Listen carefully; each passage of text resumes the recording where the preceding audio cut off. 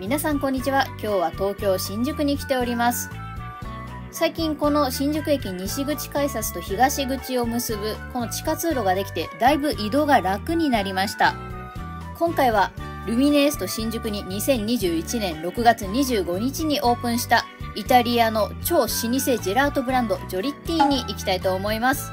イタリア・ローマ発祥の老舗ジェラートブランドジョリッティ。今やローマの定番観光スポットの一つでもあります。1900年創業でかつてはイタリア王室御用達だったこともありました。有名になった理由の一つとして「ローマの休日」という映画でオードリー・ヘップバーン演じるアン王女がスペイン広場の階段に座りながらこのジェラートを食べているシーンがあります。ちなみにスペイン広場は現在飲食禁止です。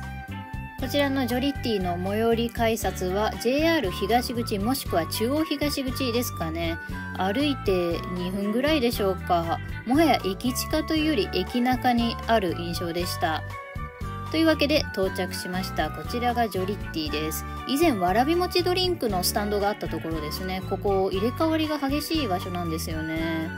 混雑回避のため入り口で整理券を発見していました。並ばずにまずは店先で店員さんに声をかけた方が良さそうですね。渡された QR コードを読み込むと自分が何組目に案内されるか表示されます。登録するとメールや LINE でお知らせもしてくれるらしいです。25組。そんなに待ってないですね。もっと混雑するかと思っていました。自分の番が来るまでルミネースとブラブラしたり東京のスペイン広場こと東南口の階段を見に行ったりしました。普段見慣れている階段ですがこれからジェラートを食べに行くと思うとここもちょっとおしゃれなヨーロッパに見えてきます。見えてこないか。10分もしないうちにご来店くださいというメールが来ました。結構早かったですね。なんならその場で待ってた方が良かったかもしれません。列に並んでメニューをもらいます。メニュー自体は結構シンプルですね。特に変わったフレーバーがあるというわけでもなく、まあ、あとはコーンかカップかダブルシングルトリプルの3種類で選べるようでした。カップはダブルとトリプルだけなのかな。あと自家製生クリームプラス108円とありましたが現在は無料で生クリームトッピングしてもらえるみたいです。そしてバニラピスタチオヘーゼルナッツの3種類のみプレミアムということでプラス料金がかかるようですね。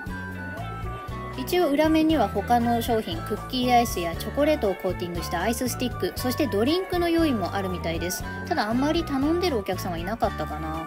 すでにインスタグラムで前もってメニューを予習してきたのでバッチリオーダーは決まっています。ココナッツとピスタチオそしてカップのダブルにして生クリームをトッピング。カップのダブルで、えー、とピスタチオとあとココナッツ、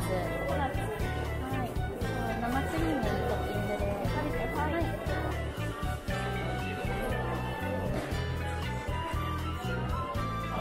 オーダーシートをいただいていよいよお店の中へここで整理券を回収するので整理券なくさないように気をつけてください。ちょっと焦りました。店内にはアン王女のイラストやあとはこのローマの休日の映像が流れててもうアン王女様々といった感じでした。お値段は少し高めですがまあお店のブランドを考えたらこんなもんなのかなという感じです。他にも気になるフレーバーがいくつかあったのでまた来店したいなと思います。というかトリプルにすればよかったかなと頼んでから後悔しました。カップダブルでこのぐらいの量です。思ったよりももりもり入れてくれました。タイミングよく店内のカウンターが開いたのでここでいただきます。店内はかなり手狭で隅っこにカウンターが少しありますが基本的にはお店の外に出て食べてる方が多かったです。こちらがピスタチオです。いろんな記事を読みましたがピスタチオフレーバーはこの店の売りの一つのようでシチリア産の最高品質のもののみを使用して着色料不使用だそうです。シチリアってレモンだけじゃなくてピスタチオも有名なんですね。この茶色い色がピスタチオ本来の色みたいですね。味はかなり濃厚で美味しかったです。ピスタチオのこう塊みたいなのもちょっと入っていてあこれが本来のピスタチオ味なんだって思いました。すごくおすすめです。ただ濃厚なのでちょっと喉が渇くかな。そしてココナッツフレーバーも美味しかったです。これは夏にぴったりでした。ザクザクのココナッツチップもたくさん入っていてすごく私的には大満足の味です。もっと食べたいなと思いました。味だけではなく香りがいいことにもびっくりしました。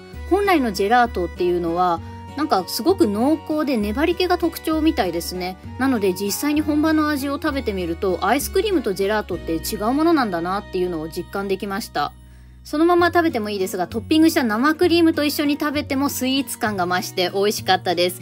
イタリアに住んでいた友人が言ってたんですが、結構本場のジェラート屋さんは生クリームと一緒に食べるのが一般的だそうで、無料でつけてくれるところが多いそうです。いいですね。行ったことがないので、ぜひ本場で生クリームもりもりで食べてみたいです。あっという間に完食です。ごちそうさまでした。大変美味しゅうございました。このレシートのロゴも可愛いですね。最初スパゲッティが何かと思ったけど、アイスでした。そりゃそうですよね。お店の前には可愛らしいアン王女のイラストも描かれています。あ、このジェラートにも上、生クリーム乗っていましたね、今。とにかくアクセス抜群なので、まあ乗り換えついでとか帰りにとかいかがでしょうか。かなりいいと思います。この場所かなりね、お店の入れ替わりが激しいので、長く続いてほしいなと思います。皆さんご視聴ありがとうございました。チャンネル登録といいねもよろしくお願いします。それでは。